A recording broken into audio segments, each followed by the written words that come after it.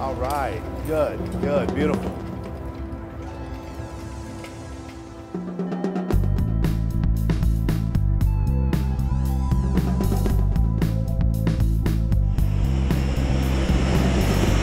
So you take sand and fire and put it together and you have glass. And you make, it turns into a liquid.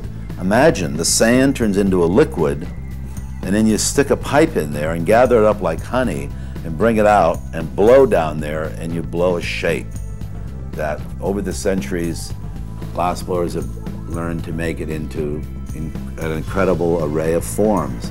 And I've been lucky enough to come along at the right time, at the right place, uh, to be able to expand many of the forms that were made throughout this 2,000 year history. I was using just human breath going down into this miraculous material, blowing it up, pushing its limits, making it as thin as I could, getting it so hot that it would almost collapse and begin to move. So I'm, I was pushing the edge of thinness and collapsibility and making new forms.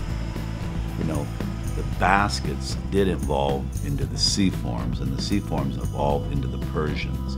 But you know, a series like the Venetians will come in, which are totally different.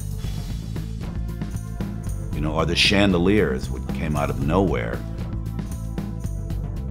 It requires a, a totally a different type of thinking. I mean, we're not talking about objects here. We're talking about 12 or 1400 pieces of glass making one object. And really, what I've always been interested in is space. Even when I made the cylinders, the single object cylinder, or the Macchias, my, my interest was always in space. So I was thinking not of the object itself, but how the object would look in a room. The chandeliers don't really relate to that evolution of the basket Seaforms Persians, probably. So, you know, as an artist, I, I just make, I just work, I just, things just come out.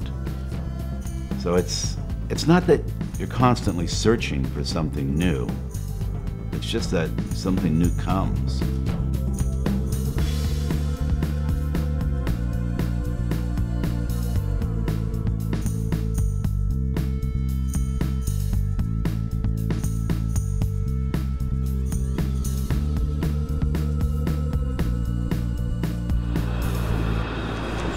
This is important.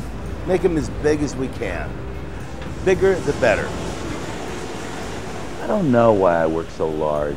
I very often push a series to its maximum size. I, I think sometimes I do it just to keep the glass blowers uh, at the very edge of their technical ability, to keep the tension high, to make it exciting, to make it so that we don't know whether it's going to break or not break. If you know exactly what you're doing and you can make it every time, it's not going to be interesting.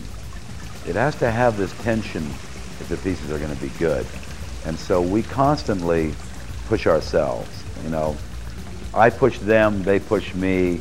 Uh, I try to get them to go beyond what they can do. Um, it's more interesting that way.